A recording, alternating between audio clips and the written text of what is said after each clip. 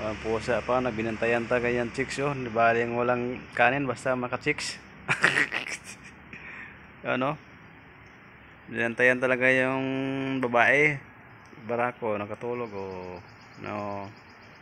Meow! Meow! Yan. Walang walang makain. Basta Labing. always labing. Yan ang pusa dito. Binantayan niya yung isa. Abang tulog.